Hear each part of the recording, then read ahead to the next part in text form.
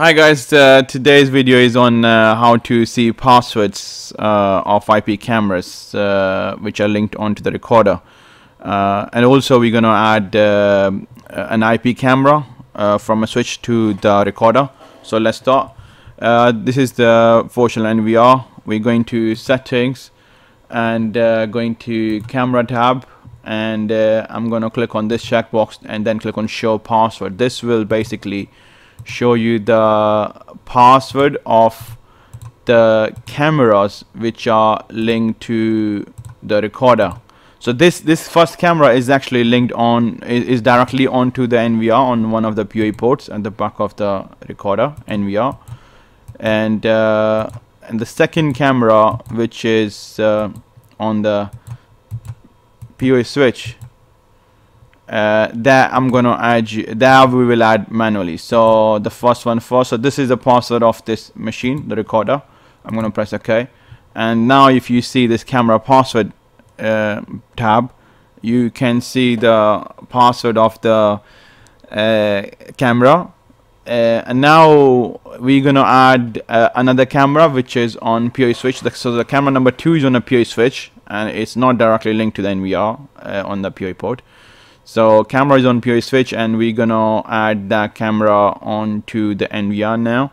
Uh, first you disable uh, first you can disable the PoE port so you can add actually the camera from the PoE switch.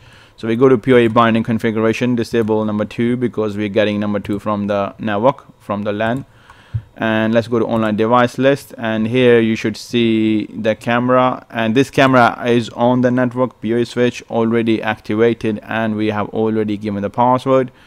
And let's click on add. I'm clicking on that and click on add.